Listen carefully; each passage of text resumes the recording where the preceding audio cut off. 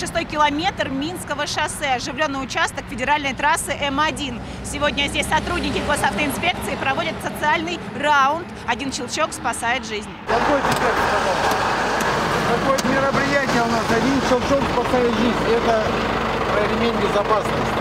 Водитель, как и пассажиры при движении в транспортном средстве, всегда должны быть пристегнуты. Об этом сотрудники госавтоинспекции решили напомнить дальнобойщикам.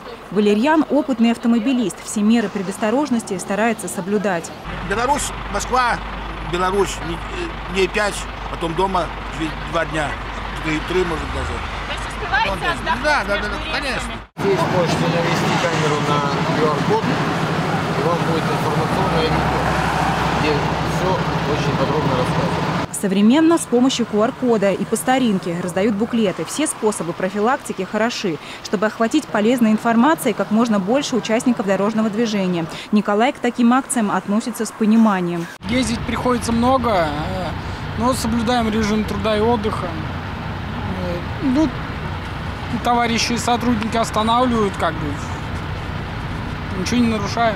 По статистике, ремни безопасности снижают риск гибели и тяжелых травм при фронтальном столкновении в два с половиной раза. Социальный раунд «Один щелчок спасает жизнь» продлится до 21 апреля. Татьяна Верниковская, Станислав Трифонов, телекомпания «Одинцова».